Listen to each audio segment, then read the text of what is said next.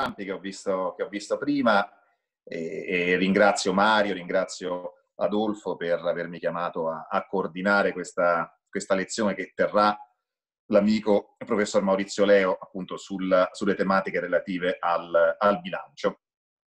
E saluto anche tutti i partecipanti a, a, questa lezione e io direi senza eh, perdere ulteriore tempo di eh, andare a una breve introduzione sull'argomento che tratteremo per cedere poi la parola a, a Maurizio Leo che terrà appunto la lezione di questa sera. Eh, ricordo che il professor Maurizio Leo è stato già vice ministro dell'economia, è ordinario di diritto tributario, è stato anche assessore al bilancio di Roma Capitale, insomma uno dei massimi esperti in materia di bilancio e in materia tributaria, per cui ci sarà l'occasione questa sera sicuramente di approfondimenti, eh, di approfondimenti interessanti.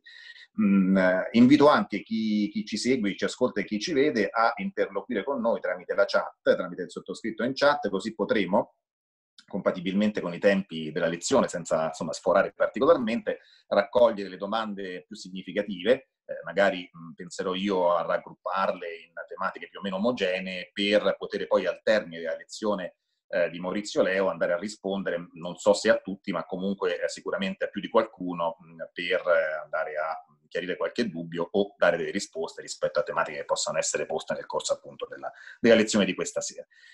Eh, legge di bilancio siamo assolutamente sul pezzo, siamo in tema perché eh, ci troviamo i primi di dicembre, quindi ci troviamo proprio eh, nei lavori parlamentari che eh, dopo ehm, il, l'intermezzo, chiamiamolo così, di questa, di questa settimana relativo proprio alla, alle tematiche della, dell'immigrazione, al decreto immigrazione, si concentreranno sulle eh, tematiche del bilancio per, eh, per, portare a compimento entro il termine previsto, quindi entro il 31 dicembre, la, la legge finanziaria. Eh, io non devo dire molte cose anche perché mh, assolutamente il mio compito è semplicemente di coordinatore. Semplicemente, eh, proprio per introdurre il tema della lezione di oggi, eh, ricordo a me stesso e agli amici che ci seguono eh, come il bilancio sia di fatto la legge fondamentale dello Stato. Insomma, penso e spero insomma, che poi eh, l'amico Maurizio mh, mi conforterà in questa affermazione. Perché? Perché è la legge con la quale si stabilisce eh, come prendere le risorse, quante risorse prendere e come impiegarle. Quindi sostanzialmente di fronte eh, e accanto ai freddi numeri che compongono eh, il, i documenti di bilancio, in realtà eh, ci sono delle chiare politiche economiche e delle visioni spesso anche diverse di, di, sviluppo, di sviluppo, del Paese.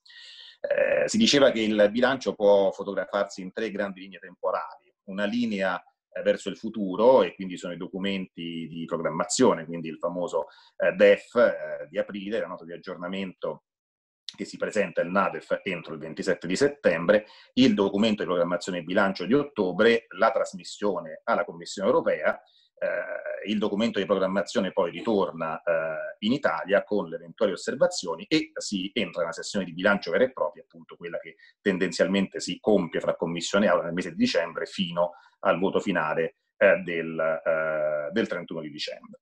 Oltre a eh, questo, e quindi al, al, bilancio, alla programmazione pluriennale triennale, eh, esistono altre due fasi. Una la possiamo definire una fotografia storica del passato, del rendiconto, che si approva entro il 30 giugno, e l'altra la gestione corrente, eh, con quello che negli anni normali, in genere sempre nel mese di giugno, a fine giugno, è eh, il, la manovra di assestamento di bilancio. Questo è un anno un po' particolare, lo sappiamo tutti, e veramente vado a concludere la mia introduzione che vuole essere breve perché eh, per l'emergenza Covid ci troviamo in una legislazione speciale e quindi abbiamo già avuto quattro scostamenti di bilancio, l'ultimo recentissimo di ulteriori 8 miliardi di euro, per un totale di 113 miliardi di disallineamento di bilancio fra eh, i vari Cura Italia, Salva Italia, Decreto Agosto e Ristori, e Ristori Quater. È una situazione molto molto particolare, mm, non, c'è, non c'è bisogno di sottolinearlo, tra le altre cose è un indebitamento molto pesante e eh, eh, vedremo come andrà in futuro la questione relativa al recovery fund, ma è evidente che eh, eh, diciamo, la scommessa è una di quelle scommesse particolari perché eh, i soldi sono tanti, appunto ripeto, oltre 100 miliardi, esattamente 113 di scostamento e disallineamento e quindi è chiaro che le ipoteche sul futuro sono particolarmente pesanti. Mm, eh, qui mm, voglio soltanto ricordare che, mm, come dicevo all'inizio, così concludo anche questa introduzione che vuole essere breve, che le politiche di bilancio non sono indifferenti. Ne ricordo una sola.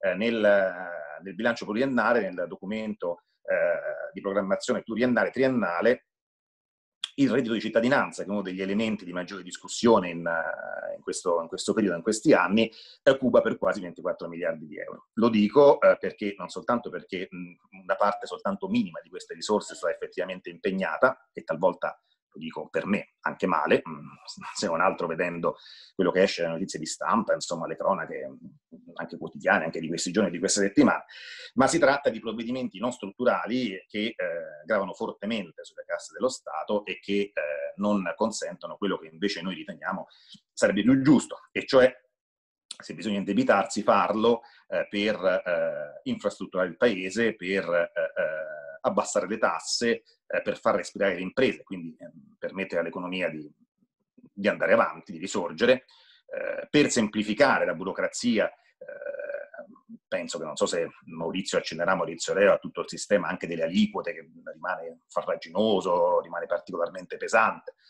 Eh, io penso che una delle proposte più interessanti, con questo veramente mi fermo, fra l'altro avanzata eh, da, da Fratelli d'Italia, eh, sia stata quella dell'anno bianco fiscale, e cioè una sorta di somma algebrica fra i maggiori utili del 2019 eh, e le perdite del 2020, eh, andando eh, diciamo, sostanzialmente a, a, considerare l'anno assolutamente particolare e eccezionale nel quale ci troviamo a vivere. Mm, chiaramente non, non, non, sarà accolta, come non è stata accolta l'altra proposta di portare la ritenuta d'acconto dal 60 al 100% e altre proposte diciamo, che vanno in direzione di un aiuto concreto alla piccola e media impresa, eh, sempre nell'ottica però di un interesse mh, generale e quindi di un abbassamento della pressione fiscale e di eh, guardare in prospettiva in maniera da superare questi interventi a pioggia che stanno appunto drenando le risorse dello Stato senza dare un respiro particolare all'economia. Questo per rimanere un pochino nell'attualità. Ecco, il bilancio, lo sapete, e concludo veramente, eh, si compone di missioni, all'interno delle missioni vi sono dei macroaggregati programmi e poi delle azioni puntuali nelle quali si esercita e con le quali si esercita l'azione di governo. Ovviamente i vincoli sono anche di natura europea, ma questo farà parte, penso, appunto della lezione di questa sera. Eh, io non credo di aggiungere altro. Ehm, ma rimango assolutamente a disposizione eh, per eh, come dicevo prima, per coordinare eventuali interventi in chat in questa ora circa di lezione che eh, terrà l'amico professor Maurizio Leo eh, e poi per rispondere eventualmente a domande, curiosità osservazioni che, eh, che, possano essere avanzate in questa fase. Quindi vi ringrazio, ringrazio tutti i partecipanti alla riunione di oggi, ringrazio eh, l'amico eh, Ciampi, segretario generale dell'Osservatorio parlamentare, l'amico senatore Adolfo Urso e ovviamente eh, l'amico Maurizio Leo, al quale, se siamo d'accordo, appunto ci darei la parola per, eh, per iniziare la lezione di questa sera. Grazie.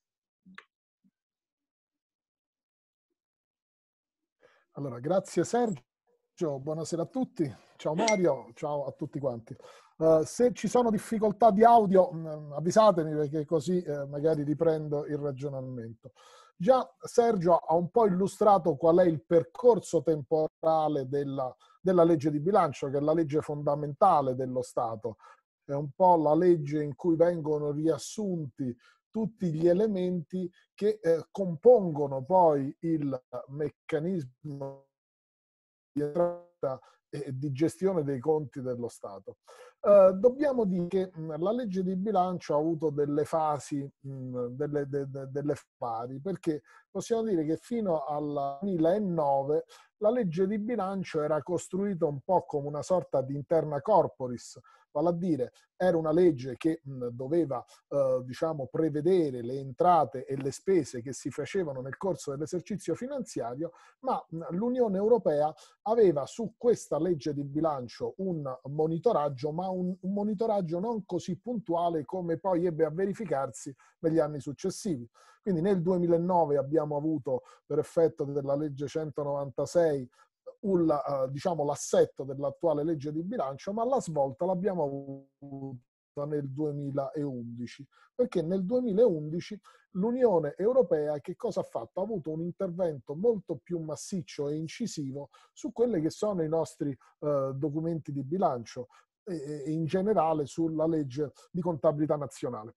E che come l'ha fatto? L'ha fatto con eh, il famoso six pack, ossia una direttiva comunitaria del 2011 a cui è fatto seguito un regolamento del 2013 dove eh, la, l'Unione Europea ha sostanzialmente detto, dice io voglio in qualche modo, visto che eh, i principi fondanti del, de, del patto di stabilità e crescita sono appunto legati alla, a tenere sotto controllo il debito pubblico, il deficit e l'inflazione, dice io devo avere un monitoraggio, una visione molto più puntuale di quelli che sono i conti pubblici italiani. E come ha fatto, come si è organizzata? Si è organizzata, eh, diciamo, in, eh, in, inserendo una fase preliminare a quello che poi sono i veri e propri atti di bilancio, in cui ha dato delle linee guida, degli indirizzi. E questo l'ha fatto diciamo, con il famoso semestre europeo. Quindi il 2011 rappresenta un po' una svolta sia a livello europeo sia a livello nazionale per la redazione dei bilanci di tutti gli stati appartenenti all'Unione Europea. E che cosa è successo? Possiamo dire che nel uh, eh, 2011 si è detto c'è una fase precedente a quella della costruzione del vero e proprio bilancio che, in cui eh, l'Unione Europea, la Commissione, il Consiglio Europeo fissano, danno um, delle, delle linee guida, quindi eh, in qualche modo delineano quella che sarà la, eh, l'azione economica, l'azione eh, diciamo economico-finanziaria dello Stato. Quindi a gennaio la eh, Commissione Europea fa quella che viene detta l'indagine annuale sulla crescita, quindi incomincia a delineare quella che è la prospettiva di crescita dei singoli Stati dell'Unione Europea. Poi c'è una fase che è direttamente dal Consiglio europeo eh, nel, nell'asso temporale febbraio-marzo. Il, il, Consiglio europeo che cosa fa? Elabora quelle che sono le linee guida di politica economica e, e di bilancio sia a livello dell'Unione europea sia a livello degli Stati membri. Uh, superata questa fase entrano in gioco gli Stati. E allora come, devono, come operano gli Stati e segnatamente come opera l'Italia? Ecco, il primo documento che viene approvato in vista poi della, diciamo, della legge di bilancio, il primo uh, provvedimento che, come dicevamo e come ricordava poco fa Sergio, è un documento di natura programmatica, è il cosiddetto documento di economia e finanza che il, il, governo presenta alle Camere e le Camere su questo documento devono pronunciarsi attraverso una risoluzione. Quindi eh, il documento um, il, il, famoso DEF, documento di economia e finanze, fissa quelle che sono le linee guida a cui poi si uniformerà eh, il governo nella predisposizione dei veri e propri provvedimenti normativi. Ecco, questo documento di finanza sostanzialmente in tre sezioni, diciamo. Nella prima detto programma di stabilità, è quello che deve essere fatto proprio nel rispetto delle regole europee, il uh, contenimento del deficit, il contenimento del debito pubblico il contenimento dell'inflazione. Questa è la prima parte. La seconda parte è, è, attiene proprio a quelli che sono i veri e propri conti che devono essere considerati.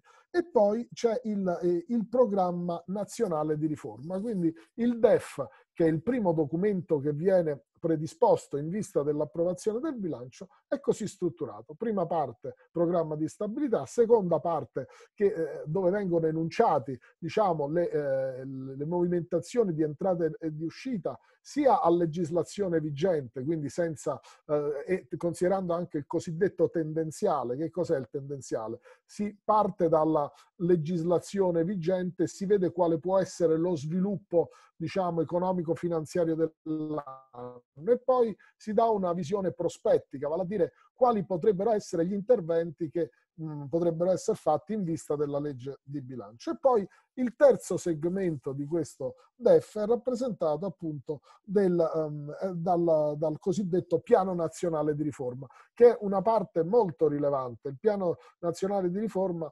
individua quali interventi si intendono fare per mh, modificare i diversi uh, assetti del, dei nostri ordinamenti. Uh, avete sicuramente sentito parlare de, nel piano di riforma della revisione infrastrutturale, adesso è di alla digitalizzazione, eh, come pure il green, no? gli interventi nel settore ambientale e via dicendo.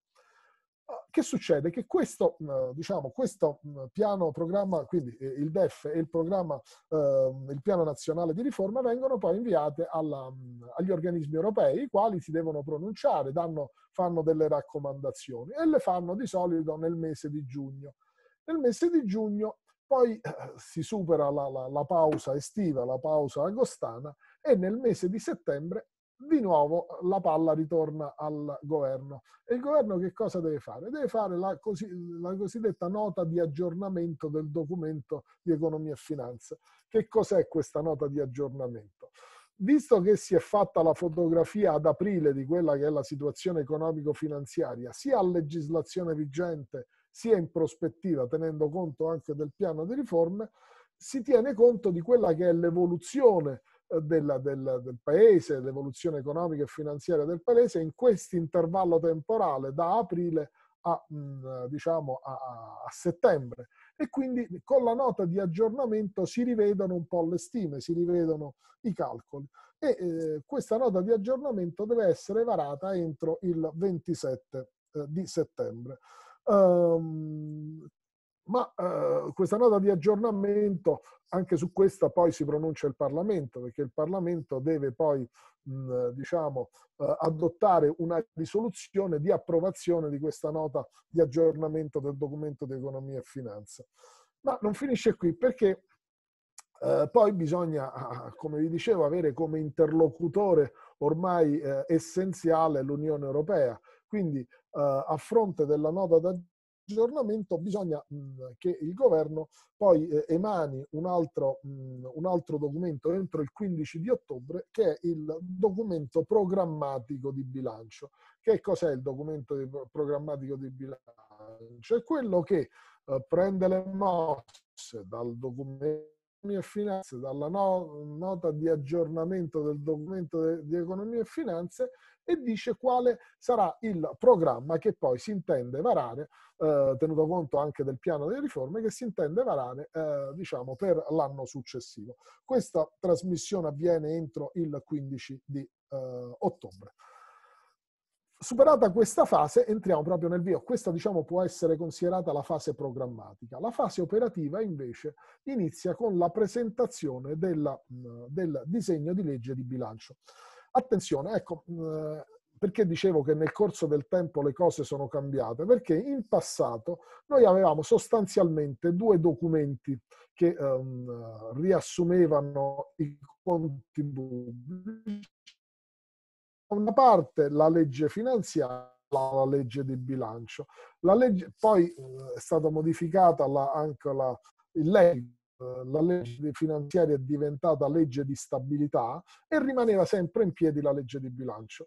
Con la riforma del 2016 il documento è unico, si chiama legge di bilancio ma è strutturata in due parti. La prima parte è la cosiddetta vera e propria legge di stabilità, la semplifico. La legge di stabilità non è nient'altro che diciamo, gli interventi normativi che poi debbono essere corredati da incrementi di entrate o, o, incrementi di spese, riduzione di spese, quindi per poi arrivare al cosiddetto saldo da finanziare, bene, la, la, la legge di, di, stabilità sostanzialmente eh, racchiude tutti quegli interventi che si intendono fare per l'esercizio finanziario, per, l'esercizio finanziario per cui, a cui si riferisce la legge di bilancio. La seconda parte è la legge di bilancio vero e proprio, quindi eh, il declinare questi interventi nell'ambito dei conti annuali, quindi vedere quanto costano in termini di entrate e di spese e farlo sia sulla base della legislazione vigente, sia sulla base di quello che, che sono gli interventi che la parte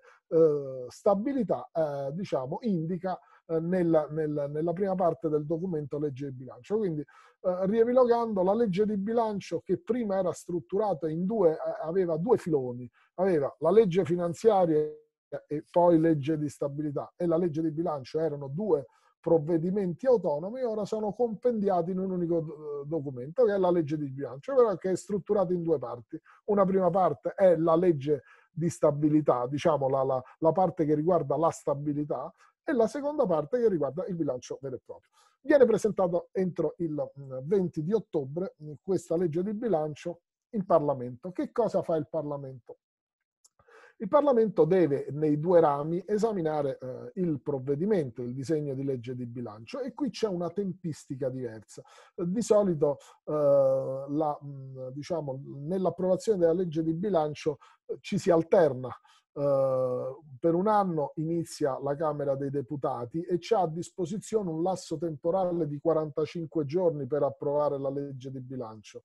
Eh, poi passa all'altro ramo del Parlamento, passa a, al Senato, supponiamo, e il Senato ha a disposizione altri 35 giorni. Di solito si fa una navetta perché eh, il Senato poi di solito interviene nuovamente, lo rimanda alla Camera e poi eh, di solito negli ultimi anni abbiamo visto che eh, la, la, la, la, strada che si segue è proprio quella del, del maxi emendamento e quindi con voto di fiducia. Ecco, quindi mh, i, i, passaggi sono questi. Un primo ramo del Parlamento ha disposizione 45 giorni il testo, lo manda all'altro ramo del Parlamento che ha a disposizione altri 35 giorni, i quali eh, diciamo, la, la, legge deve mh, eh, essere approvata e deve essere approvata entro il 31 dicembre. Se non viene approvata entro il 31 dicembre si entra in un meccanismo perverso che è quello dell'esercizio provvisorio, quindi non si può diciamo, eh, fare, eh, diciamo, spendere e eh, in particolare spendere eh, per, per, dodicesimi di quello che viene stabilito dalla legge. Quindi eh, è una situazione che sicuramente è preoccupante nella gestione dei conti pubblici. Detto questo, um, detto questo, chiedo scusa, allora, detto questo, il, um, quindi fatta un po' questa panoramica, non finisce qui perché uh, voi sapete che la legge di bilancio è una legge che deve uh, contenere previsione economica e previsione finanziaria, ma a queste si devono accompagnare anche dei provvedimenti, diciamo, collegati alla legge di bilancio. Se si vuole, per esempio, pensare a una riforma di un settore, se si vuole pensare a un riassetto di un comparto dell'amministrazione, non lo si può fare direttamente nella legge di bilancio, perché la legge di bilancio eh, diciamo, come dicevo, deve presentare eh, previsioni di entrata o di spesa, ma non pro- può presentare elementi ordinamentali, perché questi elementi ordinamentali invece possono essere rimessi a provvedimenti collegati alla legge di bilancio. E sia a tempo entro il 31 gennaio dell'anno in cui è entrata in vigore la legge di bilancio per presentare i provvedimenti mh, ordinamentali. Quindi questi eh, i cosiddetti provvedimenti collegati alla legge di bilancio. Ecco, eh, ho ritenuto di fare un po' questo excursus, diciamo, temporale per dare un po' il quadro di come eh, com'è complesso l'iter corso temporale della legge di bilancio. Ora vorrei spendere un qualche minuto invece per dire che cosa è successo quest'anno. Quest'anno ci troviamo in una situazione abbastanza paradossale, perché come vi dicevo, il termine per la presentazione della legge di bilancio era il, il 20 e questa, diciamo, questa previsione in linea formale è stata ottemperata perché il 18 c'è stato il Consiglio dei Ministri, il 18 il Consiglio dei Ministri ha approvato, salvo intese, il disegno di legge di bilancio. Però purtroppo tra la presentazione del disegno di legge di bilancio e, e la presentazione alle Camere è intercorso quasi un mese, quindi un fatto è un unicum rispetto a quella che è la tempistica dell'approvazione della legge di bilancio. È la prima volta che eh, a novembre inoltrato, quasi a, a, ridosso del mese di dicembre, le Camere si sono viste recapitare la legge di bilancio. Quindi sostanzialmente la presa in giro, consentitemi questo termine, da parte del del governo in che cosa è consistito? Di presentare una sorta di scatola vuota, di presentare una legge di bilancio che, eh, eh, di cui si conosceva in termini generali il contenuto, ma concretamente la si è vista solo quasi alla fine del mese di novembre, quindi c'è stato un intervallo temporale molto ampio nel quale eh, un po' tutti gli operatori, tutti gli addetti ai lavori erano rimasti disorientati, ma entrerà o meno quella misura, si farà o meno quell'intervento. Quindi questo che che eh, viene definito lo strotto parlamentari, perché? Adesso la Camera avrà dispo- al di di quella tempistica che dicevo, 45-35 giorni.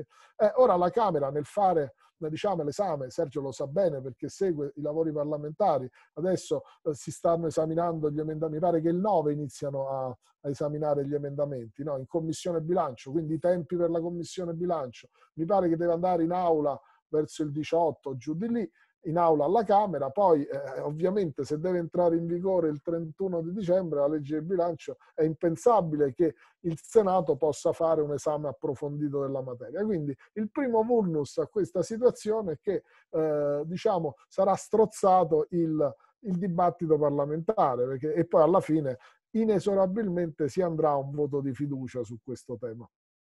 Tra l'altro ricordo proprio un intervento di, di Sabino Cassese, che è un, un, illustre costituzionalista, che ha detto qui c'è un, uh, un monocameralismo alternato. Alla fine che succede? Che uh, i provvedimenti legislativi vengono esaminati da un solo ramo del Parlamento, al di fuori di quello che era la riforma Renzi, che voleva andare a un, a un meccanismo o, di un'unica Camera che, che, avrebbe dovuto esaminare i provvedimenti normativi, ci stiamo arrivando di fatto, perché soprattutto nella legge di bilancio poi l'altro ramo del Parlamento non potrà discutere, perché alla fine il testo viene approvato in tutto il suo contenuto, in tutta la sua complessità, solo da un ramo del Parlamento. L'altro ramo dovrà semplicemente votare la fiducia. Quindi questo è il primo vulnus alla, a questa situazione. Ma detto questo, una volta descritti i tempi, una volta evidenziate quali sono le criticità, soprattutto di questa legge di bilancio, io, come diceva eh, Sergio, mi soffermerei anche su quello che è il contenuto di questa legge di bilancio, la legge di bilancio 2021. E qui ci troviamo anche in una situazione abbastanza paradossale. La legge di bilancio prevede diciamo, la manovra sostanzialmente è una manovra che si attesta sui 3 miliardi e molti soffermano l'attenzione sulla legge di bilancio, ma c'è un'altra legge di bilancio nascosta che sono, come diceva Sergio, i cosiddetti decreti ristori. Siamo al decreto ristori quater, eh, che erano misure che dovevano venire incontro alle imprese, al mondo economico, che hanno avuto oggettive difficoltà nel, nel gestire questa fase della pandemia. E allora con i vari ristori dall'1 al quater, sostanzialmente se andiamo a vedere le risorse che sono state uh, stanziate per questi ristori, vediamo che queste risorse dei ristori prevalgono alla manovra della legge di bilancio. I ristori si attestano su circa 40 miliardi da ultimo c'è stato lo scostamento eh, di, di, bilancio per 8 miliardi di euro, votato da tutti, da, da, da tutti i partiti, eh, ma 8 miliardi sono andati a implementare le risorse dei decreti ristori. Quindi oggi abbiamo una legge di bilancio che sta facendo il suo corso e vedremo poi quali sono i contenuti. E sull'altro lato abbiamo i decreti ristori e non finisce qui, non saremmo solo al ristori quater, già si annuncia che ci sarà un quinques che verrà varato a uh, gennaio. Eh, ma questi ristori stanno generando, soprattutto per la parte fiscale, confusione enorme. Perché?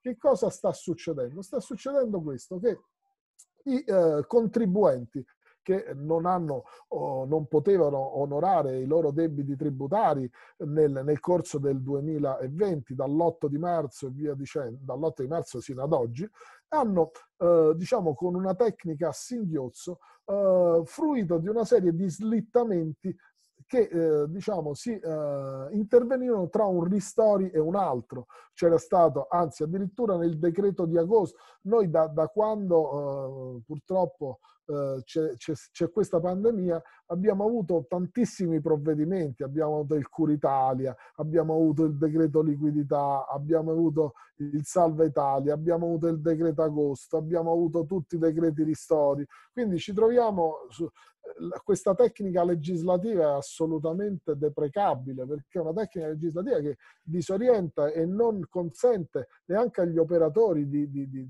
di gestire in modo eh, diciamo in modo sereno, in modo tranquillo, in modo certo, e questo è la, il vulnus eh, soprattutto di, questa, di questo modo di legiferare, perché bisogna dare certezza a chi poi deve applicare queste norme di legge. Questa certezza oggi non c'è.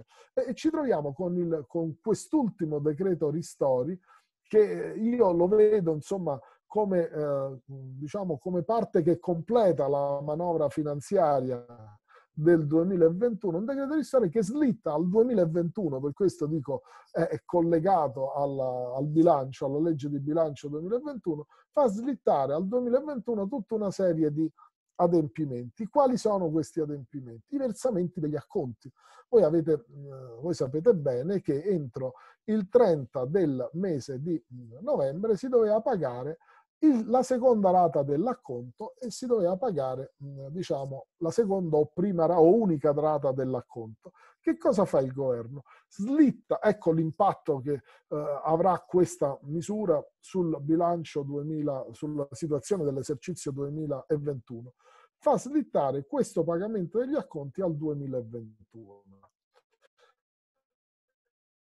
Slittare ad aprile slittare ad aprile inciderà sui conti del, dell'esercizio 2021. Però che governo? Ecco la, diciamo il corretto di, di procedere.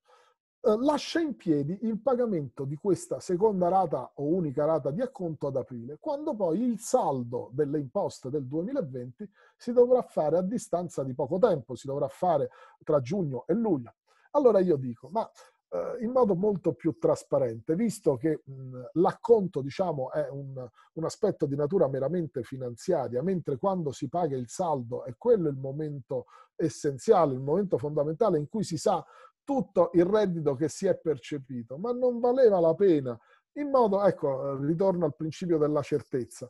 Dice, non valeva la pena dire, guardate che non, il saldo non c'è. Poi non vi sto a dire le complicazioni tra zone rosse, zone arancioni, i ristoranti che comunque si trovano, sono, non pagano l'acconto, altri che invece si trovano nella zona gialla lo devono pagare, i codici Ateco. È una confusione che la metà basta. Dico, ma non aveva più senso, eh, non aveva senso di dire, diceva, sentite, facciamo una cosa, gli acconti non si pagano nel 2020 e paghiamo direttamente il saldo. Chi ci ha avuto un reddito pagherà, chi non ci ha avuto un reddito non pagherà, senza andare a fare queste differenziazioni, fare il raffronto del semestre 2019 col semestre 2020, vedere se l'impresa ha superato o no i 50 milioni di fatturato. È una complicazione che eh, degna di miglior causa, quindi si doveva evitare questo. Come pure, vedete l'assurdo a cui si è arrivato, si è detto guardate che ci sono altre cose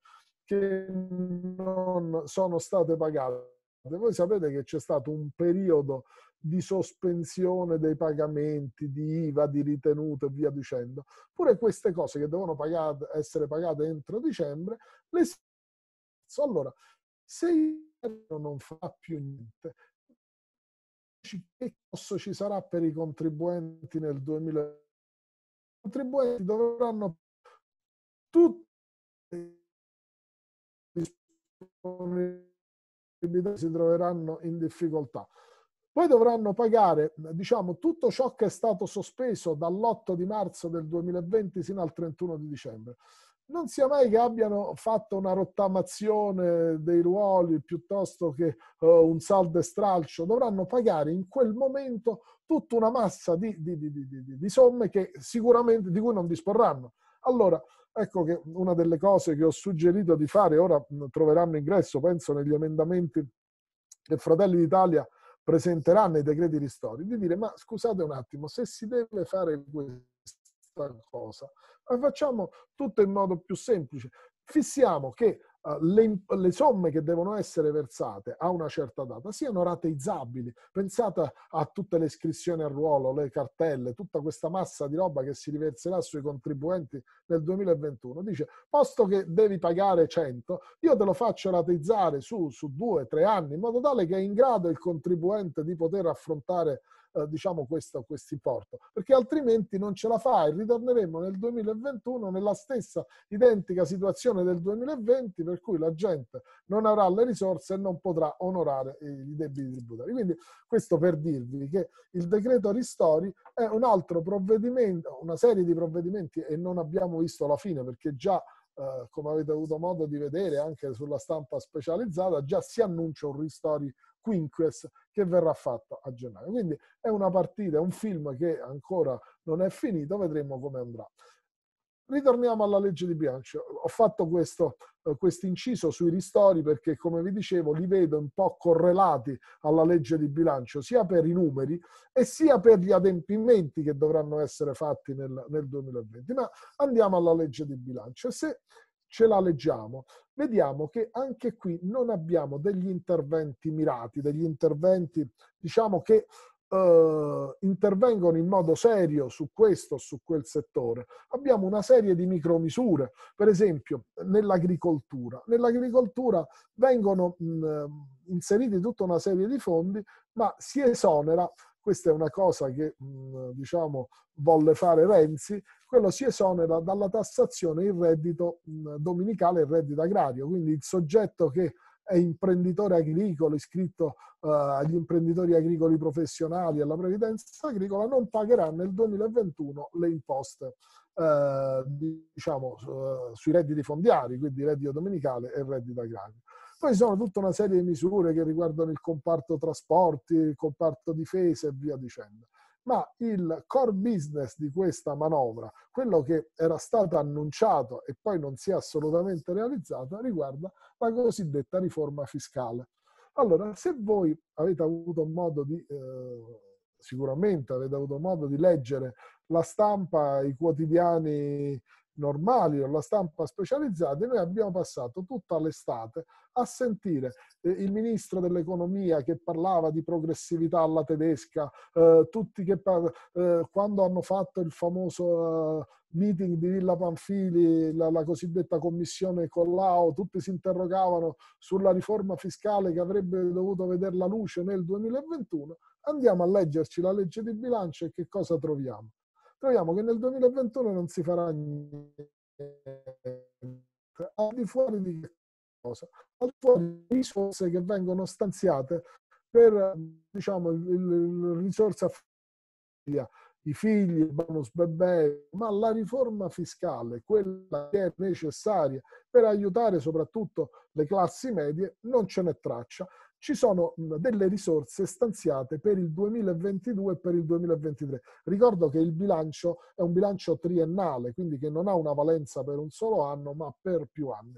Allora, che cosa si dice in queste, uh, in queste misure? Si dice che uh, si, uh, deve, si, si, si crea un fondo di 8 miliardi per la riforma fiscale nel 2022 e di 7 miliardi nel 2023 e di questi 8 miliardi del 2022, 5 saranno destinati proprio alla, al cosiddetto assegno familiare, quindi un qualcosa che deve essere dato al nucleo familiare per far fronte alle esigenze eh, dei figli, per tutto, eh, dove verranno compendiate tutta una serie di misure. Bene, co- quindi nel 2021 non, non, ci sarà traccia di riforma fiscale, quindi staremo ancora con tutti i meccanismi ormai datati che eh, ricordiamoci che la riforma fiscale risale agli anni 70 eh, perché eh, l'IRPEF, l'allora IRPEG e via dicendo furono dei provvedimenti adottati all'inizio degli anni 70 e dopo numerosissime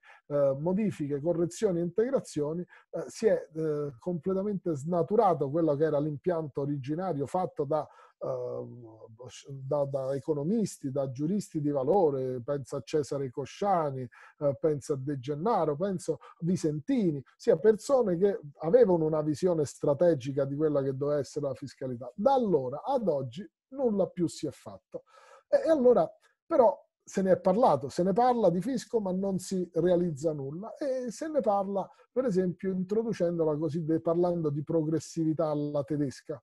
Oggi proprio leggevo che eh, mi sembra sabato eh, il PD, il responsabile del, del, economico del Partito Democratico, un certo Felici, eh, dice, non so, non so, se è un economista, non lo conosco personalmente, dice ma eh, noi porteremo al tavolo delle trattative con il governo la riforma alla tedesca. Dico però cerchiamo di capire questa riforma alla tedesca. Noi mutuiamo sempre modelli da, da altri contesti territoriali, ma vediamo come funziona. È una progressività continua. Come funziona? Che c'è una sorta di no tax area sino a 9.000 euro dove non si pagano imposte. Sostanzialmente un po' la nostra eh, no tax area interna. Poi abbiamo un intervallo che va da 9.000 eh, euro sino a 42.000 euro, dove abbiamo un'aliquota crescente continua che va al 42%. Poi dal, eh, dai 55.000 euro fino a 260.000 euro un'aliquota fissa del 42%. Oltre, il, uh, il, oltre i 260.000 euro andiamo al 45%. Ora, potrebbe sembrare una cosa ben fatta se non fosse che il contribuente non è in grado di eh, determinare esattamente quant'è l'imposta che deve pagare. Se voi andate a leggere chi si occupa, chi, chi, chi ha commentato queste, questi provvedimenti, si dice, dice, ma guardate che è facile, perché il contribuente, una volta che conosce il suo reddito, si applica la cosiddetta aliquota media e sa come, quanto deve pagare. Eh, dice sì, ma attenzione, questa aliquota media è, è, è il frutto di un algoritmo, quindi non è in grado il contribuente da solo di poter dire quanto è effettivamente il, quanto è effettivamente l'incidenza che mh, è riferibile a certi componenti agevolativi, tipo delle detrazioni. Oggi come funziona? Noi abbiamo il nostro reddito, si applicano le aliquote progressive per scaglioni, poi si arriva a un'imposta lorda, ma da qua si tolgono le detrazioni, pensiamo alle detrazioni per la produzione del reddito, pensiamo alle detrazioni per familiari a carico, gli interessi passivi, le spese mediche, quindi tutta una serie di componenti che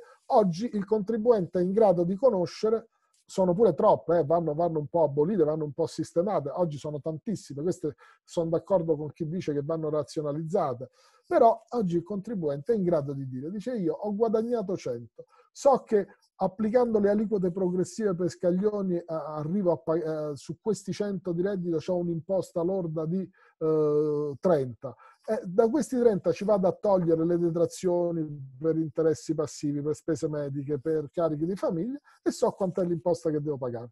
Ora, tutto questo non sarà dato sapere con il meccanismo della progressività alla tedesca, perché entrano in gioco gli algoritmi, dove il, l'amministrazione dice non ti che tu ti metti a vedere le detrazioni, le, le, le spese di produzione del reddito, ti dico io qual è l'aliquota media sul tuo reddito e finisce lì.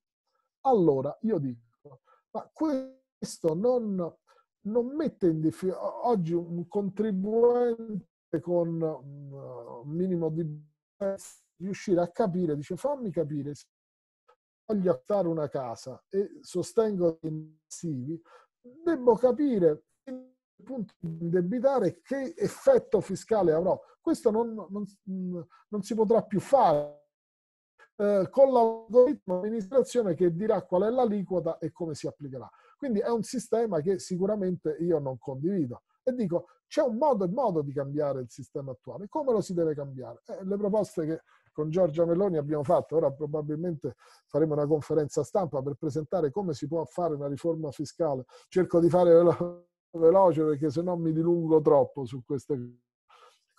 Una, una riforma fiscale. E sì, Maurizio, così vediamo anche se c'è qualche domanda poi negli ultimi dieci minuti.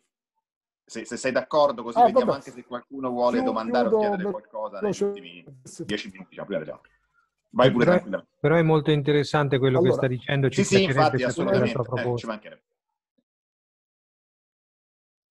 Eh, allora, vi dico, la mia proposta si articola su tre aree. Allora, la prima è l'IRP. Oggi abbiamo un meccanismo a 5 aliquote. 23, 40, 23, 27, 38, 43 e 41 e 43, quindi 23, 27, 38, 41 e 43. Se tolgo di mezzo le due aliquote che incidono sulle classi medie, quelle sui redditi medi, no? e corpo creo solo tre aliquote, 23 e lascio 43 per non far che vogliamo favorire i ricchi.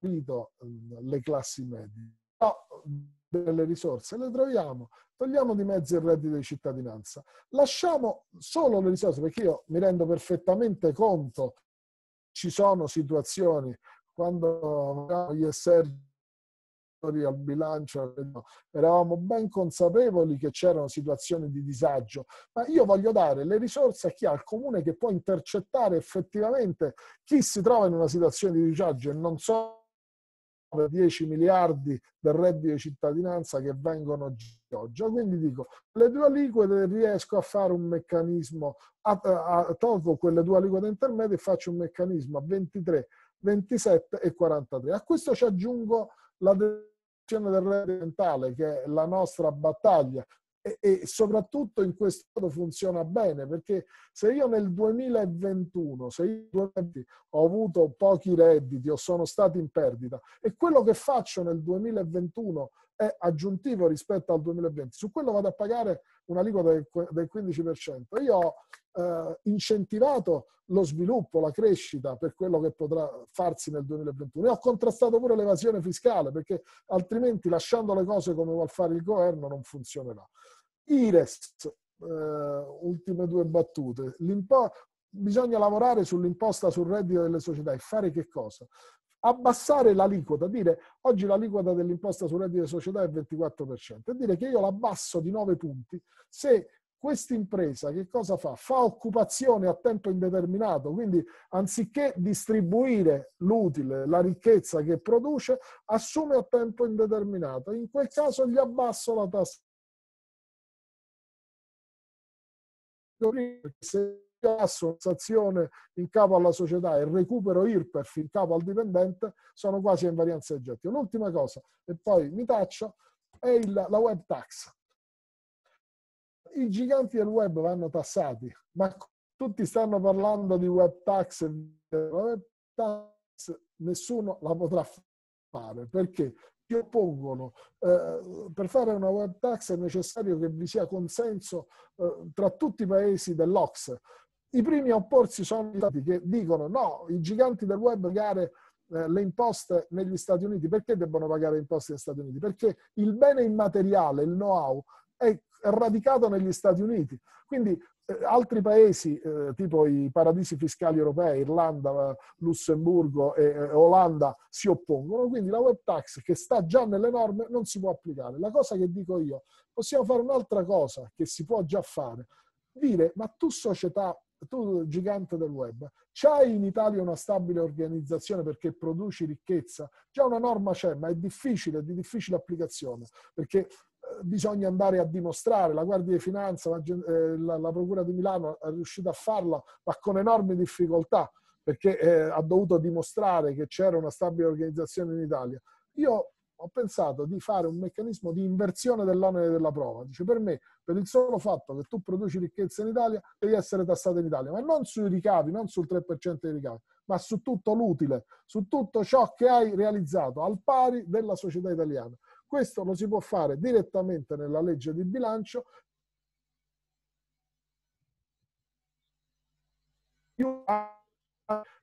Procura della Repubblica a recuperare i soldi dai giganti del web e in qualche modo a uh, venire incontro anche alle piccole imprese che uh, io faccio sempre l'esempio delle persone che vanno a provarsi le scarpe in un negozio di calzature e poi acquistano le scarpe eh, su Amazon. Ecco, queste cose secondo me non possono funzionare. Scusate, mi sono dilungato troppo, però la materia, come potete ben comprendere, è molto complessa.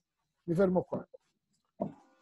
Grazie Maurizio, ringraziamo Maurizio Leo per la sua, per la sua lezione interessantissima, no? assolutamente non, non, ti sei dilungato troppo, anzi penso sia stata di grande interesse per tutti quelli che ci hanno seguito eh, ehm, nonché per il sottoscritto, fra l'altro, anche in previsione della, della, prossima, della, prossima, manovra che appunto si incardina poi in commissione, come ricordavi, dal, dal 9 dicembre.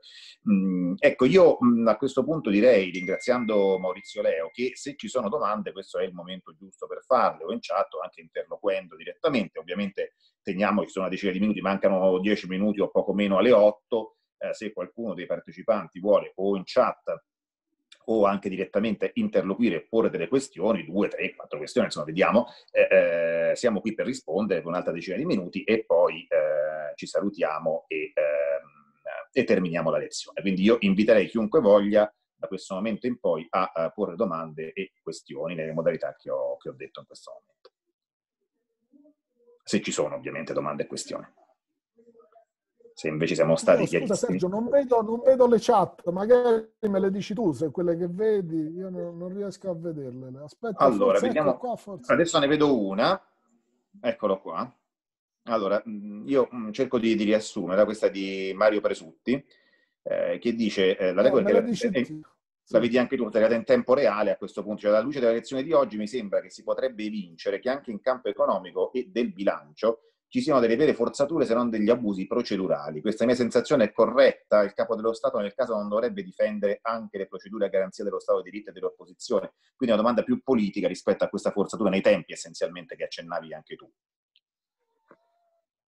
Eh sì, perché eh, obiettivamente da norma di legge, dicevo, i provvedimenti normativi sono la legge base del 2009 e poi eh, la, la, disposizione del 2016 che ha integrato e corretto. Prevede questa tempistica, i 45 giorni un, un ramo del Parlamento e i 35 un altro. Quindi stiamo sovvertendo, si potrà dire questa è una legge ordinaria, sono previsioni non tassative, però effettivamente si deve, sino a quando esiste il bicameralismo, è necessario che i due rami del Parlamento possano pronunciarsi. Questo sistema è assolutamente eh, fuori dalla, dalle regole. Insomma. E... Vediamo se c'è qualche altro. Aspetta, voglio vedere se io, io non vedo. Vedi se anche tu, io qui le chat le sto, le sto vedendo. Io vedo le domande direttamente a Sergio Marchi in chat, grazie. Probabilmente ti, vo- ti, vogliono... Ecco, solo qua, questo. Ecco, ne abbiamo un'altra, io così te le, te le cerco di riassumere e girare. Allora, me le dici tu e poi vediamo. Va bene, va bene. Allora, P- Michele Napoli, ehm, che ci sta seguendo, ci dice una delle proposte avanzate per riformare quello che definiamo sistema fiscale, che assomiglia ad un puzzle pieno di tessere mancanti, un equilibrio precario, è la cosiddetta cash flow, flow tax Cosa ne pensa? Quali pro e contro? Quali problemi di attuazione? Cash flow. Allora, spieghiamo che cos'è questa cash flow tax. Riguarda soprattutto le imprese. Oggi le imprese determinano il reddito per competenza, tranne le piccole imprese dove hanno un sistema misto cassa competenza. Che significa competenza? Che non si viene tassati in relazione agli incassi, quindi il ricavo eh, diciamo, si tassa nel momento in cui sorge il diritto a percepirlo e non quando effettivamente si incassa. La proposta della cash flow tax invece è una proposta, dice io ti tasso quando hai incassato spesa te la deduci quando l'hai sostenuta. Sostanzialmente questa è la logica cash flow tax. Può avere un senso, però bisogna eh, stare attenti a delle cose. Eh, riguarda i cosiddetti componenti straordinari, se io acquisto un bene strumentale, posso scaricare tutto il costo del bene strumentale subito. Se io mi vado a vendere un bene che non è un bene merce, ma un bene plusvalente, la plusvalenza la tasso subito. Quindi la cash flow tax da un certo punto di vista è condivisibile perché sostanzialmente si tassa ciò che viene incassato.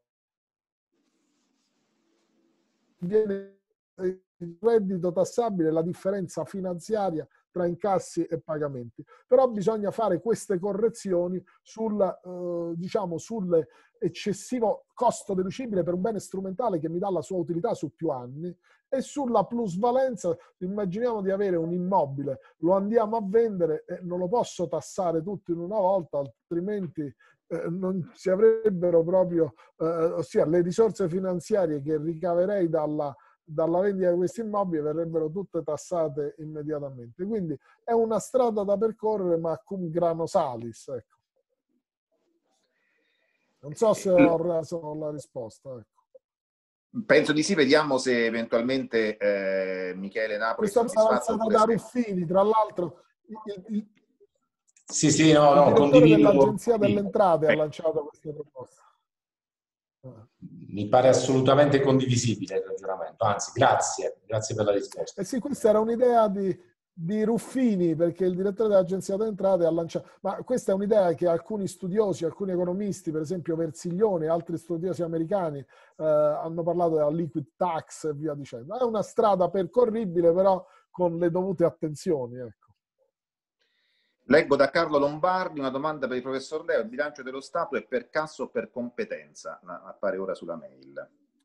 Eh, entrate e uscite, ossia, allora la competenza eh, sostanzialmente è un bilancio in cui bisogna considerare le entrate accertate e le spese impegnate, quindi un bilancio di aria. Quindi la, eh, nel momento in cui io accerto delle, delle entrate e qui si, viene poi a, a, determinare la questione dei residui. Allora, eh, per esempio, nel momento in cui l'amministrazione finanziaria accerta delle entrate, queste entrate sono iscritte a bilancio e le spese impegnate sono spese che sono eh, iscritte a bilancio. Ma eh, può accadere che poi a fine esercizio non ci siano uh, queste entrate non siano realizzate o le spese non siano sostenute. Quindi bisogna poi tener conto del, della vicenda dei residui. Una, una, considerazione, questa non è una domanda di Luca De Carlo, però la voglio leggere. Dice il bicameralismo non esiste più, in questa legislatura sono rarissimi i provvedimenti che hanno fatto i tre passaggi, però c'è il record dei ricorsi alla fiducia, è in linea con quanto, con quanto dicevamo prima. E invece mh, ce ne sono altre due eh, Federico Laudazzi eh, ci scrive abbiamo visto che dal 2011 l'UE ha iniziato ad entrare in dettaglio nella legge di bilancio eh, ma a che livello sono cogenti le, raccomand- le, sue raccomandazioni? Il governo di un singolo paese è in grado di rifiutare le raccomandazioni UE per perseguire i propri fini di politica economica? Beh, eh, ossia, eh, astrattamente questo potrebbe farsi, però c'è un riflesso, una ricaduta per quanto riguarda i mercati finanziari, perché nel momento in cui io mi disallineo, cioè, il famoso scostamento, quest'anno fortunatamente applicheranno diciamo, il, eh, i limiti previsti per il rapporto deficit-PIL, però nel momento in cui, come ha fatto ad esempio, vi ricordate che la Francia ha sforato il famoso 3%, avendo un debito pubblico che è rispetto a quello chiaro eh, i titoli poi del debito pubblico ne risentiranno perché eh, eh, il, diciamo gli investitori non, eh, nel momento in cui si sfora cioè non rispetta i parametri fissati dall'Unione Europea a parte la procedura di infrazione che poi può essere avviata da parte dell'Unione Europea ma ci sarà un effetto immediato proprio sul, sui titoli del debito pubblico e questo è un effetto da, da scongiurare. Due domande che racchiudono una sola, da Stefano Alfonso e, mh, mm, e l'altra da, eh, da, Roberto Aprile. Sono sull'articolo 81 della Costituzione riguardo l'equilibrio di bilancio. Sono molto simili, il vincolo di pareggio di bilancio, che leggo una, ma sono quasi uguali. Come è inciso sul bilancio l'inserimento dell'articolo 81 della Costituzione del vincolo di pareggio in sede di rendiconto consuntivo, come si potrebbe rendere maggiormente fruibile ai cittadini spese effettuate dallo Stato? Grazie. E queste sono più o meno due domande simili sul, sul vincolo di pareggio in Costituzione. Ossia, il vincolo di pareggio fu un lungo dibattito che si fece nella, mi ricordo, nella sedicesima legislatura, quella del, del, pareggio di bilancio, che poi rimane sempre una pia illusione, perché poi ovviamente eh, nel momento in cui eh, ci sarà necessità di fare spesa pubblica e via dicendo, il vincolo del pareggio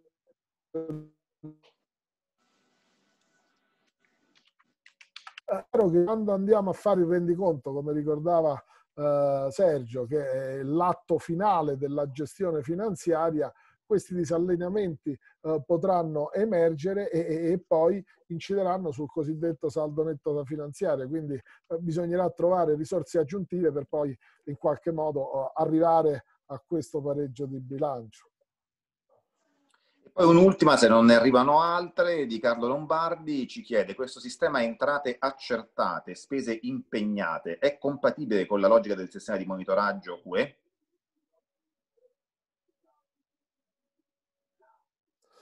Eh beh, ma è proprio allora la logica, ossia se noi dovessimo pensare a un modello ideale di, di, di bilancio, dovremmo pensare al modello di competenza o al modello di cassa, perché il modello di cassa vedo le entrate e le uscite.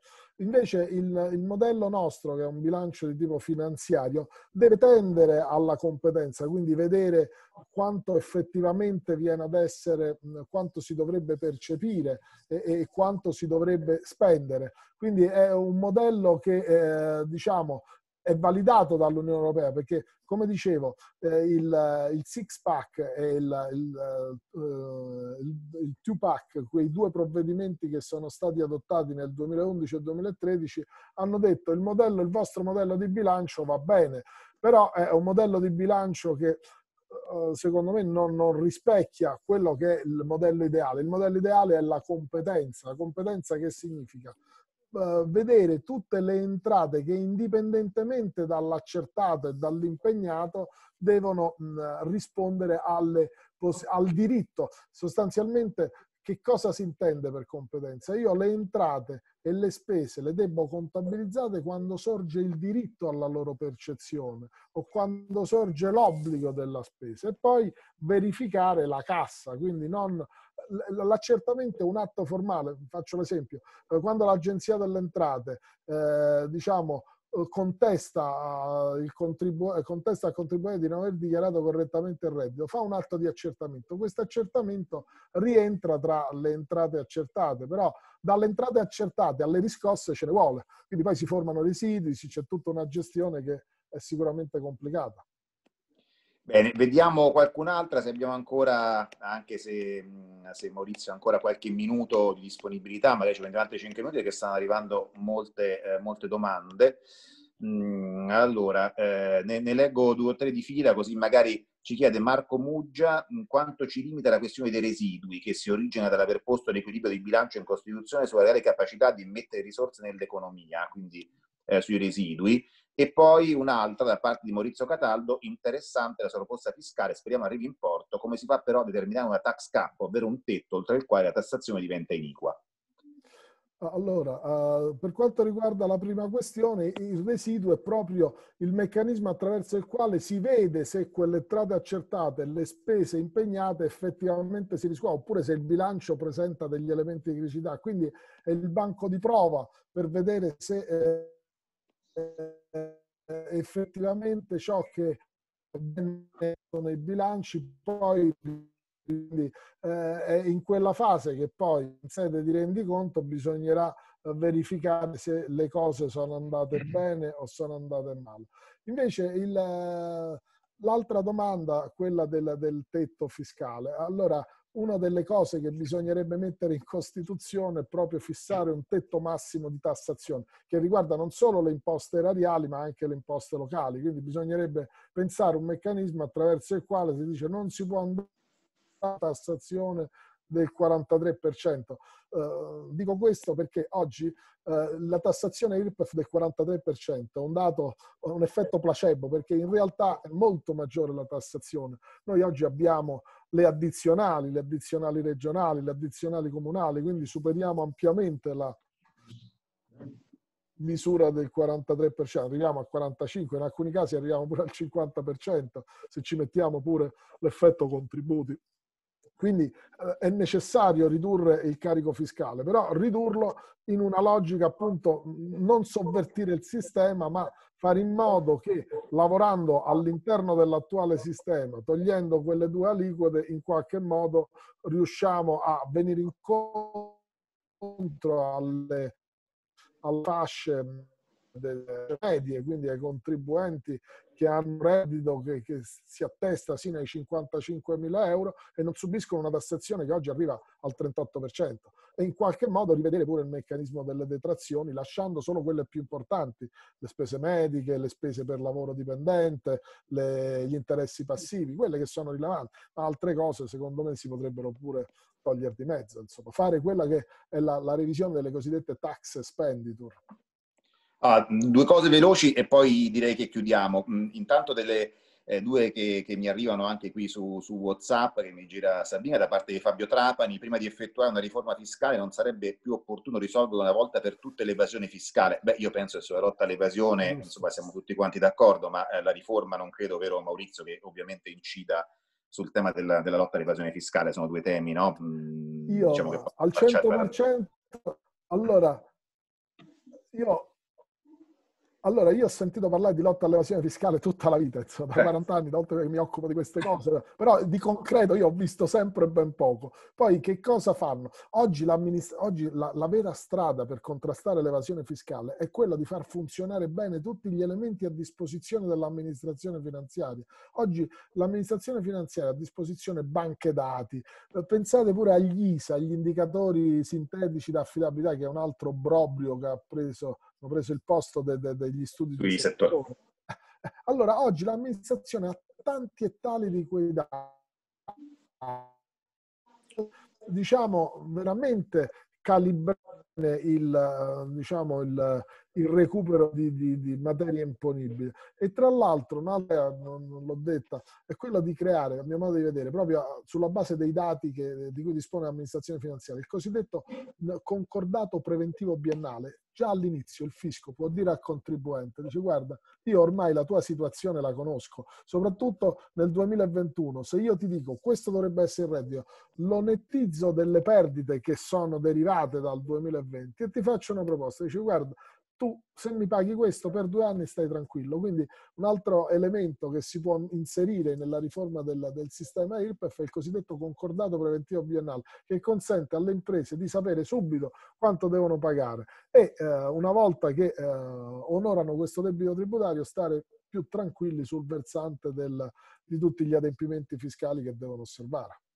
Alfredo Giudice ci dice, secondo lei il 9 dicembre mh, dove si voterà la modifica del, la modifica, dice, del MES, cioè, mh, c'è qualche possibilità che il governo venga battuto? Mh, insomma, io personalmente no, non lo so, non credo, però insomma, ce lo possiamo augurare. Però da, dalle, dalle, dichiarazioni che sì. fanno, perché si distingue il MES nuovo dalla, dal MES sì, vecchio, dice là mi sembra che poi le posizioni sono abbastanza fluide, sì, no? Non si capisce sì, bene chi sta da una parte e chi sta da un'altra. No, non mettiamo. non mettiamo lì. solo vivendo, insomma. Esattamente, esattamente. Manuela Stefoni ci scrive per tre volte questa in chat, quindi evidentemente ci tiene proprio una risposta e noi penso che gliela diamo. Ci dice, in attesa della web tax, si potrebbe prevedere un contributo eh, delle imprese che sostituiscono l'utilizzo umano con la digitalizzazione, con l'introduzione di una sorta di certificati, anziché verdi, chiamoli sociali, ciò per reintegrare la perdita di gettito dovuta alla prossima ondata di perdite di lavoro. Che ne pensa? Ma io eh, sono dell'idea che la strada maestra è quella di dire guardate che quel sistema che ho pensato io eh, aiuterebbe moltissimo la Guardia di Finanza, le procure e questi giganti del web pagherebbero subito. Vi dico perché pagherebbero subito, perché Uh, oggi il combinato disposto tra uh, Agenzia delle Entrate e Procura della Repubblica funziona bene, ma hanno difficoltà. Perché che succede? Se la Guardia di Finanza dice per me tu gigante del web, siccome produci reddito in Italia hai, hai, utile, però devo andare io a dimostrare che, che c'è diciamo, una stabile organizzazione virtuale perché c'è una significativa presenza economica in Italia. Questo consente alla Procura della Repubblica di fare che cosa? Di dire tu hai omesso la dichiarazione in Italia, quindi avendo messo la dichiarazione ci sono conseguenze penali. I giganti del web, che cosa? I manager, si mettono paura di questo e pagano. Però l'amministrazione fa fatica perché poi arrivano eh, i legali, chi li assiste, eh, che intralci. Col sistema per me, per il solo fatto che tu fai utili in Italia, c'è una presenza economica significativa. Inversione dell'onere della prova. Per me sei residente in Italia. La Procura della Repubblica manda subito la, avvia il procedimento penale e vedete che i manager dal primo all'ultimo vengono, pagano e fa, pagano in Italia come pagano le, le imposte le società italiane. Questa è la strada. Uh, applicare meccanismi diversi come quello attuale del 3% su, sui ricavi è poca roba e il 3% sui ricavi poi non si riesce neppure a, a prendere perché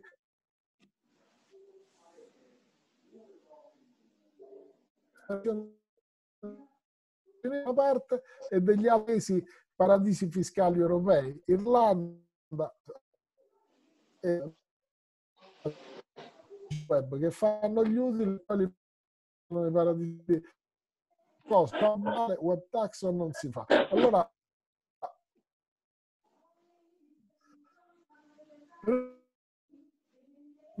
tutto possiamo pure fermarci qui. Che dici? Sì, direi, direi, assolutamente di sì. E ci sono qualche altra domanda dalla quale poi ma sono finite. Crollo del gettito fiscale crea dei problemi per il bilancio 2021. Chiaro Vabbè, che il problema di gettito c'è, questo che gettito c'è, questo è evidente. Insomma, poi vedremo.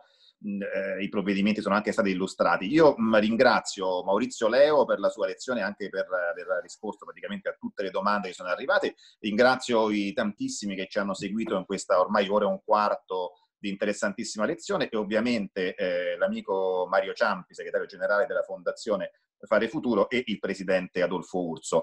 Eh, ringrazio le preziosissime Sabrina e Ludovica, senza le quali questo collegamento non, non si sarebbe assolutamente potuto fare e eh, auguro a tutti una buona serata mh, eh, sperando di eh, poi magari risentirci anche nel corso e dopo la legge di bilancio per fare un po' il punto di quello che è successo nelle prossime tre settimane. Grazie ancora a tutti e buona serata.